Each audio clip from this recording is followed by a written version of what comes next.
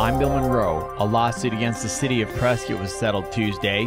City Council approved an agreement that settles all claims property owners in the Centerpoint East development had, as well as any claims the city may have had against those owners. The claim involved the change in location for the Highway 89A traffic interchange. A 62 year old California man accidentally shot himself in the leg at the Gunsite Academy in Paulden Wednesday afternoon. The man was in a basic pistol class when the accident occurred. He was transported to Flagstaff Medical Center in good condition. On Thursday night, the Prescott Valley Town Council discussed pavement improvements on Lake Valley Road.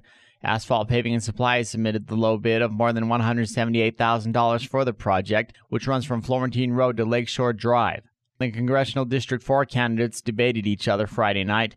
The Embry-Riddle Aeronautical University College Republican Club hosted the debate, which featured candidates District 1 Congressman Paul Gosar, Pinal County Sheriff Paul Babeu, and State Senator Ron Gould. 65 juveniles were detained on the morning of Sunday, April 15th, following an after prom party on Iron King Road in Dewey Humboldt that got out of control. 34 citations, mainly involving underage drinking, were also written, and further citations for littering and property damage are pending. Prescott Deputy City Manager Allison Zelms outlined a realignment system Tuesday that would combine the sick and vacation leave banks into one paid time off system by July 1st. This realignment is being done as a cost cutting measure that Council will vote on next month. Arizona Department of Commerce representatives were on hand Wednesday to present a check for $300,000 to the Prescott Valley Economic Development Foundation. The money will be used towards job creation for four businesses in Prescott Valley and one in Chino Valley. And following a community meeting in Dewey Humboldt Wednesday night, a blood screening was held at Humboldt Elementary School Thursday afternoon. Residents raised concerns over health issues due to the cleanup of the Iron King Mine Humboldt smelter site at the meeting, which had representation from the Environmental Protection Agency, the Agency for Toxic Substances and Disease Registry,